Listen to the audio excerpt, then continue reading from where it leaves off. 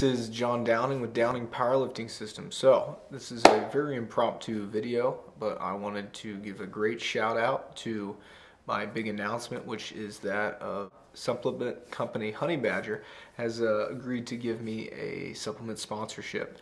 So I just wanted to give them a big shout out as well as a big thanks for the sponsorship. It is my first supplement sponsorship, and I'm very grateful for that. Um, uh, I know everybody involved with that company so far, and they are great people as well as a great product. So thank you so much for that sponsorship.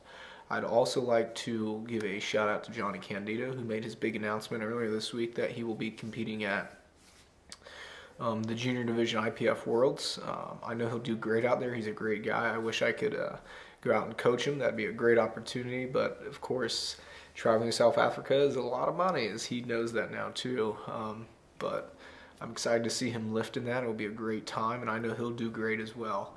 Um, maybe some things to think about as I'm giving this shout out to you, Jonnie. Uh, look into your diet. You're gonna have to change that up a little bit as when you travel to a different country, you're exposed to different things. Look into the effects of yogurt and how it helps to increase the enzymes and bacteria fighting organisms in your body, as well as look into your sleep schedule. You're gonna wanna change that up a little bit so that you can be lifting at prime time, their time here, so that you can get ready for that, as well as cancel out some of the variables of the travel distance. Um, as well as coming up this week will be a compilation video between me and Jennifer Petrisino. It will be the uh, second volume of my squat series and we'll be looking at squat variations. So it should be very informative and informational.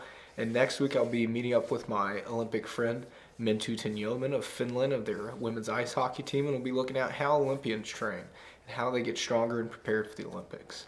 So thank you for tuning in. Please subscribe to my channel, follow me on Twitter, and thank you so much.